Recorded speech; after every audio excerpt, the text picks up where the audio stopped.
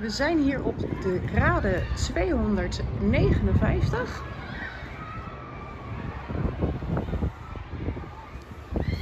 We komen de woning binnen. Hier aan de overkant is een school. Dus u, heeft wel, u hoort de spelende kinderen in de pauzes. Als u aan de voorkant buiten zal zitten. Dit is uh, één kleine slaapkamer.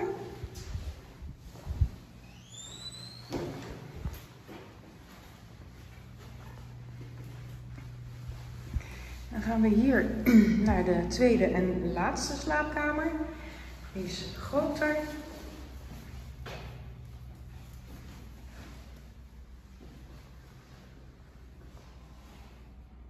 Met een deur naar de woonkamer. En een deur naar de woonkamer via de gang uiteraard.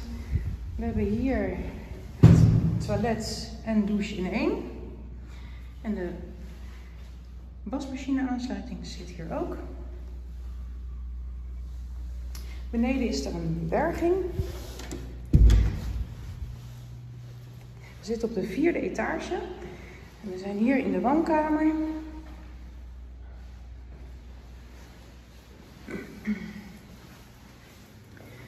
Dit is uw uitzicht vanaf de voorkant.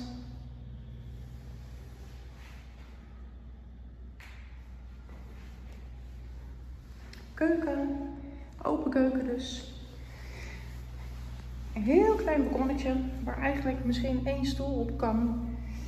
Daarom zitten de meeste mensen aan de voorzijde van de galerij wat ik net liet zien.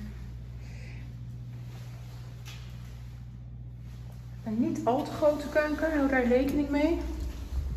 En hier hebben we een berging en de cv-ketel.